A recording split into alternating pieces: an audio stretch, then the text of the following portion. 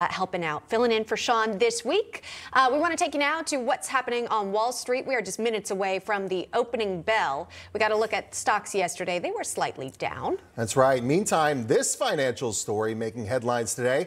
The U.S. is changing tax reporting for all Venmo and PayPal payments.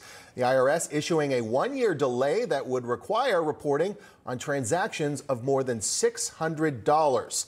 Javier Palomarez, Palomarez is the CEO and the, of the U.S. Hispanic Business Council, and he joins us now to discuss this story. Uh, Javier, Javier, uh, 2023 was going to be the first year in which people who earned at least $600 from online platforms like eBay, Etsy, Venmo, uh, Cash App were going to receive 1099K income tax reform tax forms. Uh, why was that the case? Why did the government feel the need to initially say, "Hey, if you're transactioning uh, more than $600, uh, you need to make the government aware of this. You know, unfortunately, and good morning, by the way, thank you for having me. Uh, unfortunately, as usual, American small business was not asked about this coming regulation. Uh, you know, I think it's important to to put this thing in its proper context. Uh, right now, American small businesses are still dealing with the after effects of COVID. We're, we're not done with that. Uh, supply chains that have been disrupted or decimated we've got rising interest rates. We've got record inflation. We've got immigration issues that are impacting our businesses. And then on top of that, this came along. Uh, I'm delighted that at least we've got a one year reprieve to allow us to more fully understand uh, what, what, what, the, what the regulators are asking of us. You know, right off the bat, um, is the threshold too low? That question, obviously. Secondly, how do you determine business income from personal income? Uh, this will be impactful, uh, clearly, for American small business community. Yeah. You know, and Javier, if you could just sort of expand on who's using these sort of platforms to have these transactions take place. Are these mom and pop businesses that you think of?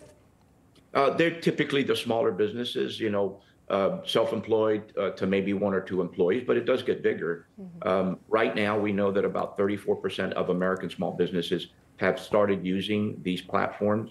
Uh, it's been a great boon for them in terms of efficiencies. Um, we know that in general, in the Hispanic business community, in the Hispanic community, I'm sorry, about 52% of Hispanics generally use PayPal. I suspect that that percentage is even higher among, among Hispanic owned businesses. Uh, these are platforms that have been a boon uh, to the American small business community. So the impact will clearly be felt. Um, we have a lot of questions. Uh, unfortunately, you know, in today's Washington, um, American small business doesn't have a voice. And if you don't have a voice, you don't get a choice. So we're, we're having to deal with this. Uh, we're happy that we've got a one year delay that allows us to, uh, you know, kind of more fully understand what's ahead of us. You know, Javier, I think about an app like Venmo. A lot of uh, folks I know uh, use Venmo when they go out to eat with a bunch of people. And you can easily rack up a bill of $600 if you're out to eat with 10, 15 people. Is that, would that mean down the road, uh, folks, uh, if they do transfer $600 on a Venmo app, that they would have to fill out a 1099 form for a uh, simple transaction like going out to eat? Exactly. Exactly. That's exactly the, the issue right there. You know, and as an American small business uh, organization, you know, we advocate on the 4.7 uh, the 4.7 million Hispanic-owned firms in this country that contribute over 800 billion dollars to the American economy. While we continue to contribute, the federal government continues to put, you know, regulation after regulation upon our backs without any kind of consultation, without ever asking us. Uh, it's a difficult thing to have to deal with. It's here. We'll deal with it. Um, I'm just happy that we've got a one year reprieve to be able to better understand this. Uh, but this this doesn't you know really pass the smell test with me.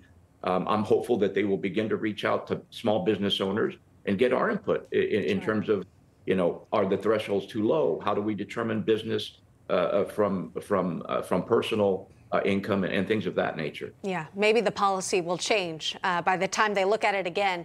Javier Palomarez, thanks so much for joining us today. Appreciate it. Merry Christmas. Happy holidays, guys. Thanks Merry for having Christmas. me. Same to you.